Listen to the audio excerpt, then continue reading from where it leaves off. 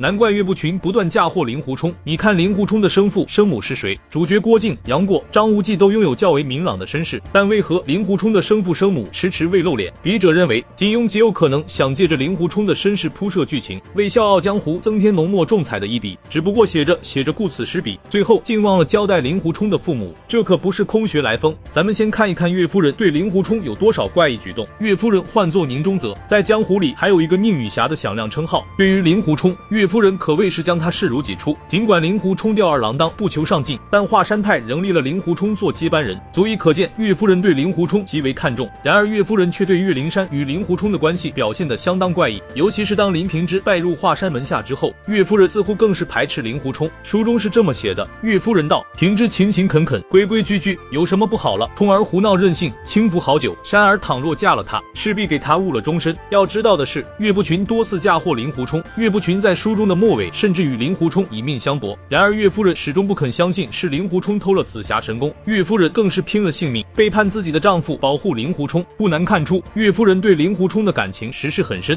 也深知令狐冲的为人。可在岳灵珊这件事上，岳夫人却极力反对令狐冲做，反而乐见林平之与岳灵珊结为夫妻。如果将令狐冲视为岳夫人之子，是不是就能解释岳夫人为何反对令狐冲和岳灵珊的婚事了？倘若是这样，那谁会是令狐冲的生父？令狐冲的生父会不会会是岳不群？笔者认为不太可能。你看岳不群对令狐冲百般陷害，先怀疑他偷了紫霞神功，后又嫁祸令狐冲偷了辟邪剑谱，如此阴狠毒辣，岳不群怎么可能是令狐冲的生父？毕竟虎毒不食子。不过一些网友认为岳不群号称君子剑，实则是一个伪君子，他为了达到目的不择手段，嫁祸给自己的亲生儿子也不算稀奇。然而岳不群若真的是令狐冲的生父，岳不群夫妇为何又要说令狐冲是捡来的孤儿？其实比起岳不群，笑傲江湖里还有一个人物更像是令狐冲的生父，此人正是剑宗高手风清扬。首先，思过崖虽然是人迹罕至，但华山派有无数弟子都曾去过思过崖，而风清扬在思过崖隐居了几十年，为何令狐冲一出现，风清扬就将独孤九剑这门旷世武功倾囊相授？其次，风清扬曾说过，独孤九剑艰涩难懂，是一门高深莫测的神功，只要修炼者具备极高的天赋与不拘一格的性情，方能练成。从风清扬对独孤九剑的领悟情况来看，他绝对练成了独孤九剑的最后一式破气式，而令狐冲只花了一个晚上的时间，就将独孤九剑的招式烂熟于胸。他本人那潇洒不羁的性格也与独孤九剑非常相符。如果令狐冲是风清扬之子的话，他势必很好的遗传到了风清扬的武学天赋。这样一来，令狐冲轻易练成独孤九剑就显得更有说服力了。更重要的在于，岳不群起初对令狐冲也不错，可当发现令狐冲在思过崖学会了剑宗的招数之后，岳不群对令狐冲的态度有了一百八十度的变化。笔者认为，岳不群极有可能知道令狐冲是风清扬和宁中则所生，但因为宁中则，岳不群还是将令狐冲视为华山派的接班人，并将华山剑法悉心传授。可岳不群万万没有想到，令狐冲这小子居然和风清扬相认，还将华山剑宗的招式耍得行云流水。岳不群误以为令狐通过风清扬冲得知了身世，这才对令狐冲恨之入骨，继而怀疑他偷了紫霞神功，又嫁祸他偷了林家的辟邪剑谱。当然，以上解读只是笔者的个人猜测，毕竟金庸并未将令狐冲的身世详细的阐述出来。不过，也正因为这种留白式的写作手法，反而让《笑傲江湖》更耐人寻味。读者们也可以根据自己的理解，自行开辟缺失的剧情，着实妙不可言。